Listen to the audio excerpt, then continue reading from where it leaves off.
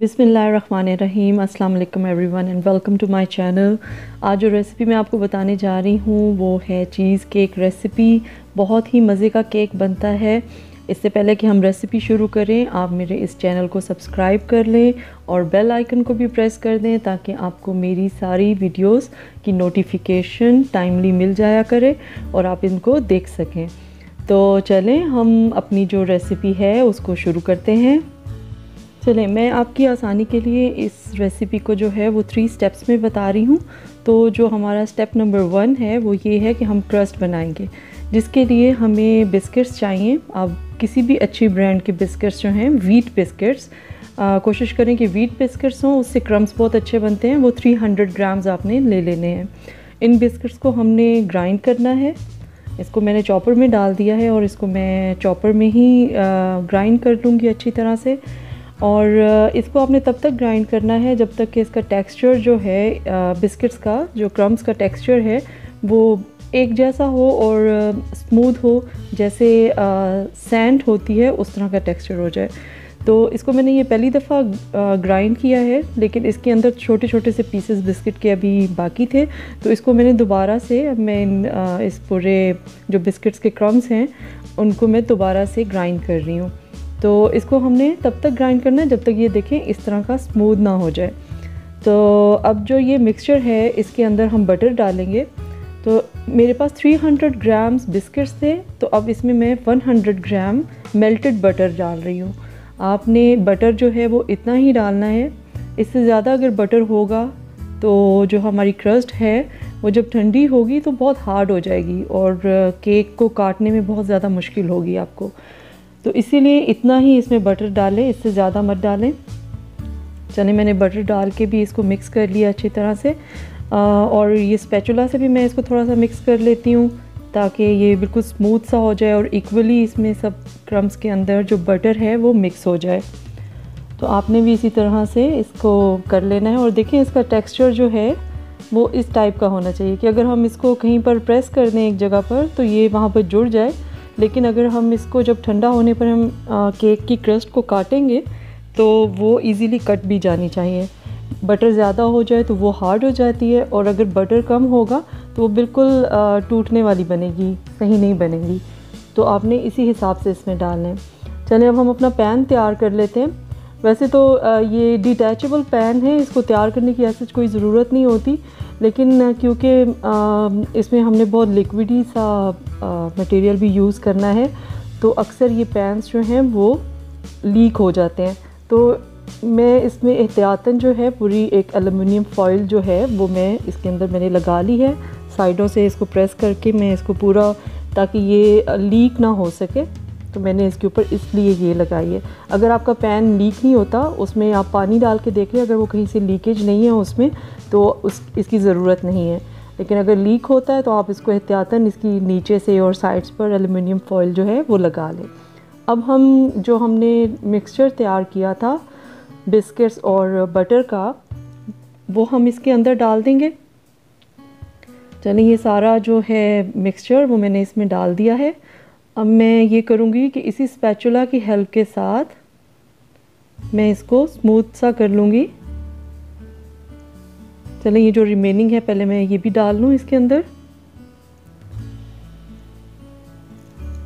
चलें, सारा ये डल गया इसके अंदर। तो अब मैं स्पैचुला से ही इसको ज़रा इवनली स्प्रेड कर देती हूँ, ताकि जो हमारी क्रस्ट है, उसमें एक जैसी ही उसकी मोटाई आए और वो एक जैसी ही बने।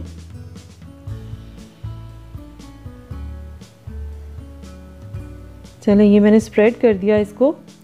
अब ये मैं एक ग्लास लेकर, जो नीचे से उसकी बेस जो है वो बिल्कुल सीधी सी हो, और इस तरह का आप कोई ग्लास ले लें या बॉटल ले लें तो उसकी हेल्प से इसको प्रेस करके तो हम इस क्रस्ट को अपनी जगह पर सेट कर देते हैं। इस तरह से इसको हल्के हाथ से आप दबा दबा कर इसको अपनी जगह पर सेट कर दें। और इवनली सेट करें। ऐसे ना हो कि कहीं से ये क्रस्ट जो है वो मोटी हो और कहीं से बारीक हो तो वो अच्छी नहीं लगती। केक के नीचे इवनली जो है आपकी क्रस्ट होनी चाहिए। तो चले, मैंने इसको अच्छी तरह से प्रेस कर कर के तो ये कर लिया है। जो ये ग्लास के ऊपर लग गया है, इसको मैं स्पैचुला से उतार लेती हूँ।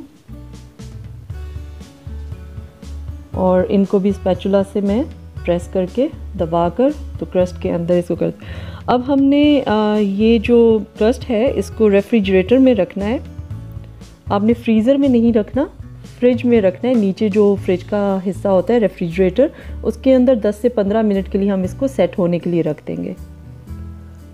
चलें, अब हमारा स्टेप टू जो है, वो हमने चीज़ केक की जो बेस के जो अंदर, इसके अंदर बेसिकली जो बनता है, वो हमने करना है। और उसके लिए जो कप है, वो हमने एक जैसा ही यूज़ करना है मेयरमेंट मैं जिस कप से योगर्ट मेयर कर रही हूँ, उसी से आपने बाकी चीज़ें भी इसी साइज़ के कप से आपने करनी है।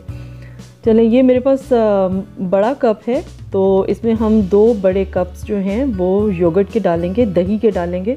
फुल क्रीम आपने दही यूज़ करना है। और कोशिश करें कि थिक दही हो। चलें ये मैंने दो कप, दो बड़े कप मैंने योगर्ट के इसमें डाल दिए हैं। अब इसी साइज़ का कप जो है, वो बाकी चीज़ों के लिए भी मैं यूज़ करूँगी। ये फुल क्रीम मिल्क पाउडर है। सेम वही कप है। उसी तरह का कप है। उसी कप के, इसी कप के साथ हमने वन एंड हाफ़ कप जो है, वो पाउडर्ड पाउडर्ड मिल्क लेना है। और ये फुल क्रीम है। चलें, डेढ़ कप मैंने इसमें फुल क्रीम पाउडर्ड मिल्क डाल दिया है। और इसी कप के साइज़ का जो कप है लेकर, उसमें मैं वन कप शुगर डाल रही हूँ। ठीक है? इसमें हमने वन कप शुगर डाल देनी है। सेम साइज़ कप से। अब इस चीज़ को इन सारी चीज़ों को हम इकट्ठे अच्छी तरह से मिक्स कर लेते हैं। पहले मैं स्पैचुला से कर रही हूँ ताकि ये योगर्ट के अंदर जो मिल्क पाउडर है और शुगर है वो ज़रा मिक्स होनी शुरू हो जाए। तो इसके बाद जो है वो हम एग बीटर से इसको अच्छी तरह से बीट कर लेंगे। अच्छी तरह से मिक्स कर लेंगे आपस में।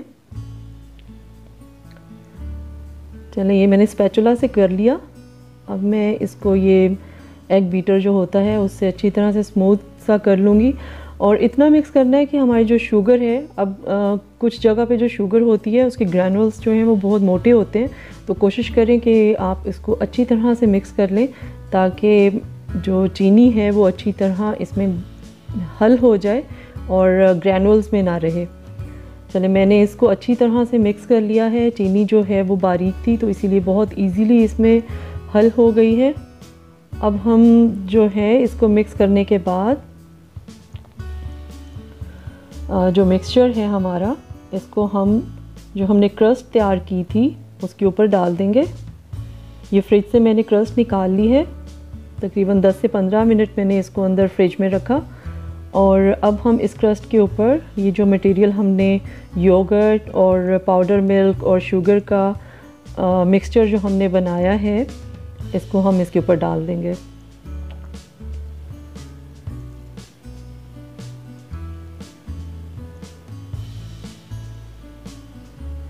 चलिए, मैंने सारा मिक्सचर जो है वो इसके ऊपर डाल दिया। अब ये है कि अब हम अवन मैंने साथ साथ प्री हीट कर लिया था। 180 डिग्री सेल्सियस पर आपने अवन को प्री हीट कर लेना है। मेरा ये कन्वेक्शन अवन है, आप इसको गैस अवन या इलेक्ट्रिक अवन में भी बना सकते हैं। तो मैंने इसको 180 डिग्री सेल्सियस पर प्री हीट किया है और इसके अंदर इसको मैंने 30 मिनट्स के लिए अब रख कर तो बेक कर लेना है। 180 डिग्री पर आपने 30 मिनट्स के लिए रख कर इसको बेक कर लेना है, ठीक है? तो चलें, हमने इसका स्टार्ट कर दिया टाइम तो 30 मिनट्स के बाद हम इसको देखते हैं। ये देखें 30 मिनट्स गुजर गए और हमारा ये अच्छी तरह से बेक हो चुका है। अब हम इसको निकाल लेंगे बाहर और नेक्स्ट क्या करना है वो मैं आपको बताती हूँ। चलें, ये देखें, बहुत अच्छा सा ये बेक हो गया है। जो मटेरियल था ये बिल्कुल हार्ड सा हो जाएगा और इसका जो केक की जो लुक है, वो ऐसे ही होगी जैसे बेक्ड केक होता है। चलो स्टेप थ्री हमारा जो है, वो हमने इसके ऊपर ग्लेज तैयार करना है इसका। तो उसके लिए एक स्टैंडर्ड साइज़ का मैं कप लूँगी, एक कप पानी मैंने लिया है।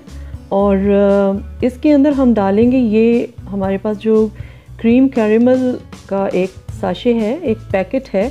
इसके अंदर एक साशे निकलता है क्रीम कैरेमल का। आप किसी भी अच्छी ब्रांड का क्रीम कैरेमल यूज़ कर लें। अगर आपको ये नहीं मिलता है तो आप जेली भी यूज़ कर सकते हैं।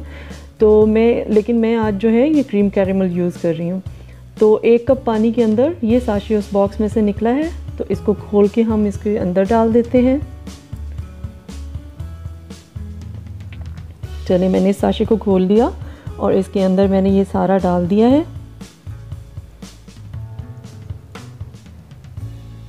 चलिए मैं अब इसको मिक्स कर लूँगी अच्छी तरह से और इसको मीडियम हीट पर मैं बॉईल कर लूँगी। इसको हिलाते रहना ताकि ये लम्ब्स वगैरह जो हैं वो अच्छी तरह से इसके अंदर मिक्स हो जाए, पानी के अंदर। जब ये अच्छी तरह से मिक्स हो जाए और बॉईल होने लगे तो तब हम अपना जो स्टोव है वो बंद कर देंगे। इसको हिलाते रहें। जब ये पानी में अच्छी तरह से आप देखें काफ़ी हद तक ये मिक्स हो चुका है और बॉयल भी होना शुरू हो गया है। तो बस अब हम स्टोव अपना बंद कर देंगे। देखिए, इसका थोड़ा सा टेक्सचर जो है वो इस तरह का होता है लिक्विड ही होता है, लेकिन ये जब फ्रिज में रखेंगे सेट होगा केक के ऊपर जब हम डाल के इसको सेट कर देंगे तो ये थिक हो जाएगा। जेली की तरह, जैसे जेली हो जाती है। तो चलें, अब हम इसको केक के ऊपर डाल लेते हैं। आपने एकदम से केक के ऊपर उंडेल नहीं देना है, क्योंकि जहाँ पर ये गिरेगा, वहाँ पर ये केक के अंदर सुराख सा कर देगा। या केक का जो केक की जो लुक है, वो ख़राब कर देगा। तो इसको आराम आराम से आपने स्पून के साथ पूरे केक के ऊपर इसको स्प्रेड कर देना है। इसको भी इवनली हमने स्प्रेड करना है, ताकि पूरे केक को कवर कर ले। और ये जो फॉइल है, वो मैंने इस मटेरियल की वजह से लगाई है, क्योंकि जब ये लिक्विड ऊपर आता है और अगर आपका पैन जो है वो लीक हो जाता हो, मेरा क्योंकि ये हो जाता है अक्सर तो इसीलिए इसको प्रिवेंट करने के लिए मैंने इस पर फॉइल लगा दी थी। चले अब हम इसको, हमने सारा ऊपर स्प्रेड कर दिया। अब हम इसको फ्रिज के अंदर रेफ्रिजरेटर में रखेंगे तकरीबन चार से पाँच घंटे के लिए, ताकि ये अच्छी तरह से ठंडा हो जाए। चले, तकरीबन पाँच घंटे हो गए हैं। तो अब हम इसकी साइड्स को, जो डिटैचेबल इसका रिंग है, वो हम हटाने के लिए इसको थोड़ा छुरी के साथ। इसकी ज़रूरत वैसे नहीं थी, लेकिन मुझे था कि ये थोड़ा सा साइडों पे स्टिक ना हो चुका हो तो इसको मैं नाइफ़ के साथ जो है, उसको अलहदा कर रही हूँ इसकी साइड्स को।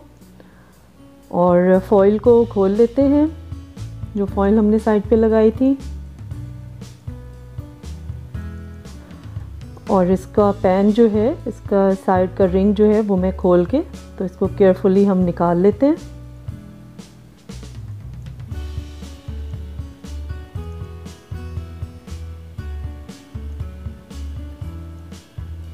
चलिए, ये मैंने निकाल दिया।